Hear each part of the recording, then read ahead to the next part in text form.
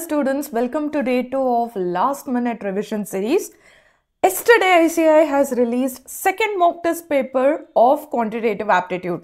In today's session, I am discussing seven questions which are never repeated in any examination or they were asked in any other mock test questions. Starting with question number 1. The ratio of prices of two fans were 16 is to 23. After you read first sentence, jump to the last sentence. Find original price of the two fans.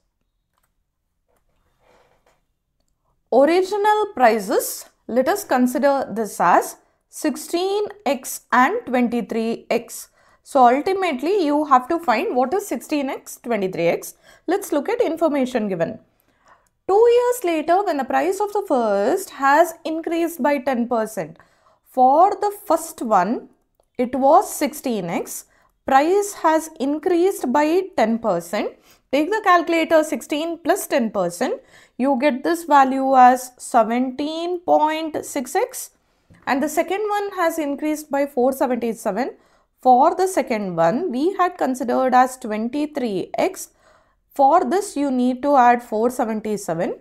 The ratio of the prices is 11 is to 12 the ratio of these two that is 17.6x divided by 23x plus 477 is given as 11 is to 20. Now it is very simple just do cross multiplication. 20 of 17.6x is equal to 11 of 23x plus 477. Solve this you will get 352x is equal to 11 into 23 253x plus 11 into 477 5247 take all x terms to one side and number to another side.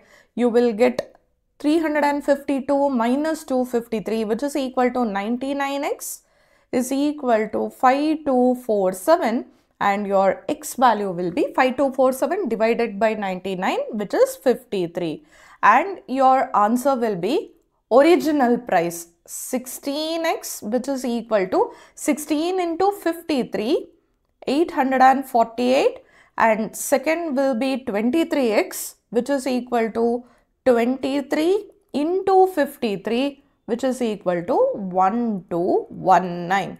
So correct option is option A. Next, I have picked 8th question only for one reason. In the class, we have learned nature of the roots. It can be of three types. Either the nature of the roots can be equal to 0, b square minus 4ac is equal to 0 or it can be less than 1 during which the roots are imaginary or it is greater than 1 during which the roots are real and rational. If you remember that, this time they have asked roots of this quadratic equation are coincident. Now students are not aware what is meaning of coincident. Coincident basically means the roots are equal. And when the roots are equal, b square minus 4ac value is equal to 0. Remember this, this is from nature of the roots.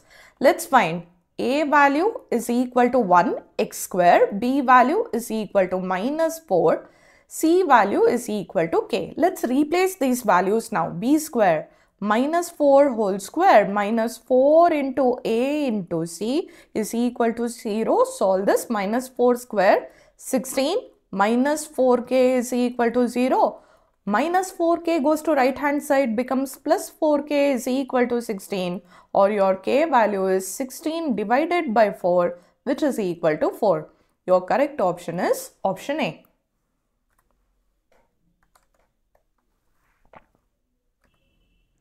One good thing about this mock test paper is it is extremely easy.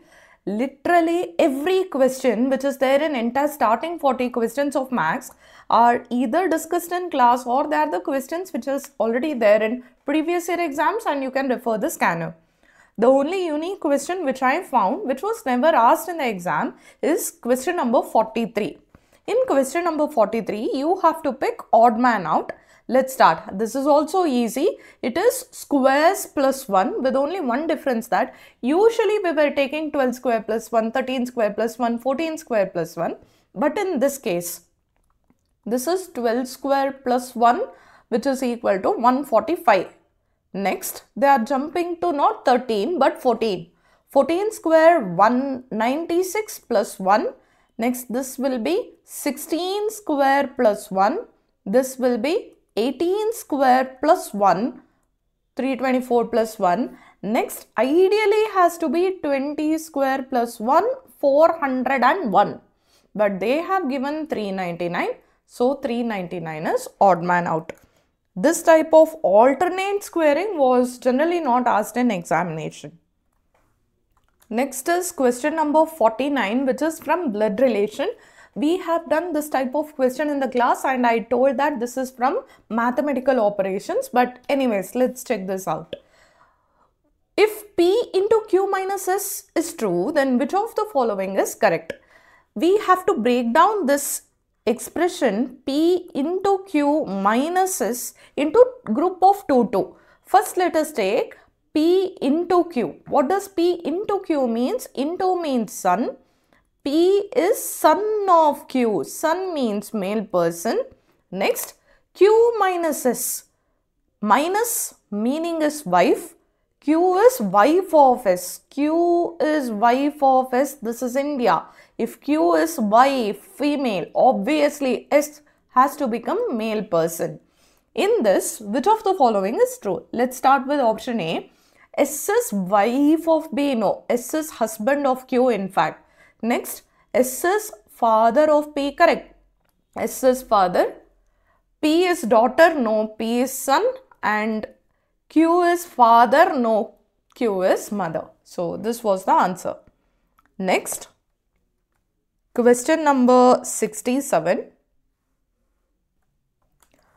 The next question is not asked in examination because this is introduced in new syllabus and this is a question from sampling theorem. Standard error is described as dash. Standard error is uh, standard deviation is for the population and standard error is basically the same standard deviation for the sample or the statistics. Next, Question number 81 which is from probability chapter. I found this question is interesting. Before I go ahead with this question, let us recollect the basics of probability chapter. Whenever they say three events are there, there is only one formula in probability which deals with three events ABC and that formula is what I have written on your screen. Probability of A union B union C is equal to probability of A plus probability of B plus probability of C minus A intersection B, B intersection C, C intersection A plus probability of A intersection B intersection C. Now let's see what other information is given in the question. First, they are mutually exclusive. Mutually exclusive is like me and Chancellor. We never coincide. We never take class together. In that case, A intersection B intersection C is 0 a intersection B is also 0, B intersection C is also 0, C intersection A is also 0. So, what is left out? P of A plus P of B plus P of C. They have even told that they are exhaustive. Exhaustive is the condition on union of the events. Probability of A union B union C is equal to 1.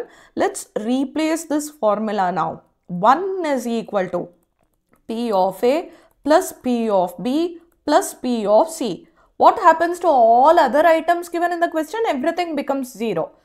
Equally likely, that means I can replace P of A, P of B, P of C with the same thing which is P of A, P of A and P of A because all these three probability is same.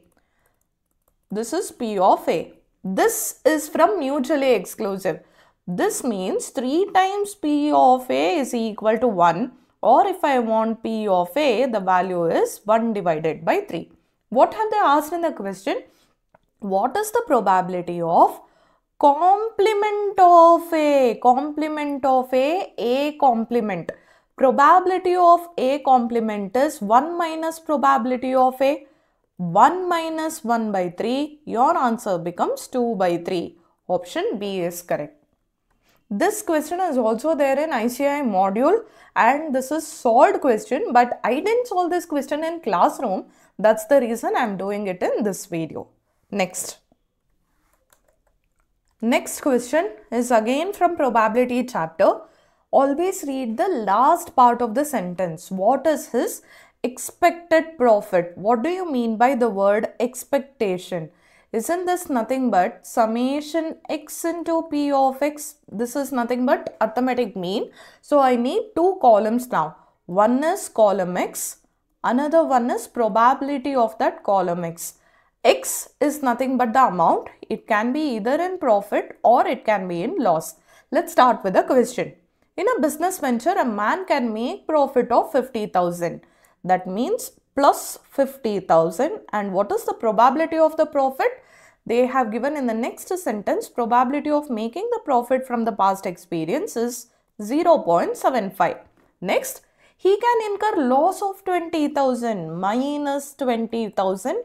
This is for loss and that probability is 0.25. You will create one more column x into p of x multiply them, do the total. When after multiplication and doing the total, you will end up at 32,500 total and this is option D. This is your expected value.